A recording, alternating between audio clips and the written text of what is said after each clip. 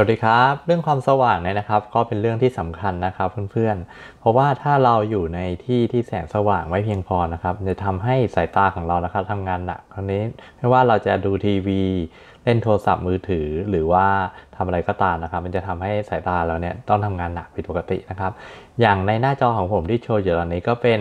ความสว่างที่เขากำหนดตามกฎหมายของพวกสถานประกอบการต่างๆนะครับ ก็จะเห็นว่าค่าส่วนใหญ่ก็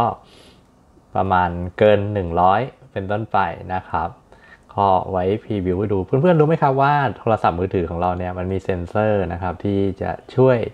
ในการวัดค่าความสว่างนะครับ เดี๋ยวผมจะแนะนำแอปให้ดูนะครับ แอปตัวนี้นะครับจะทำให้เราสามารถใช้มือถือของเรานะครับ วัดค่าความสว่างบริเวณที่เรา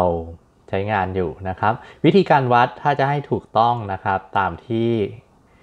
กฎหมายเขากำหนดผมอิงตามกฎหมายเลยแล้วกันนะครับ เพราะว่าเขาให้วัดสูงขึ้นมาจากพื้นเนี่ยประมาณ 1 เมตรนะครับมันก็ประมาณระดับโต๊ะเนาะเราก็กะเอาว่าประมาณ 1 เมตรแค่ไหนนะครับ แล้วก็เปิดแอปตัวนี้ขึ้นมานะครับ ความสว่างโดยเฉลี่ยแล้วก็ควรจะเกิน 100 นะครับ ถ้าต่ำกว่า 100เนี่ยก็ถือว่ามืดเกินไปนะครับ แล้วเปิดแอปขึ้นมาไม่ต้องทำอะไรนะครับ ให้เอา ถือสูงขึ้นมาจากพื้นนะครับ พื้นที่เรายืนเนี่ยนะครับ1เมตรนะครับ แล้วก็เราก็จะเห็นค่านะครับทีนี้ถ้าถ้ามันมืดนะครับ เรา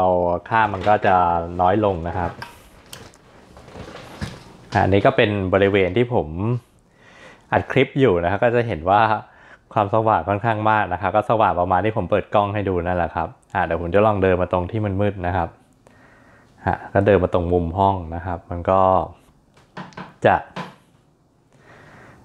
ความสว่างก็จะลดลงนะครับเดี๋ยวทีนี้ผมจะลองปิดไฟเลยครับ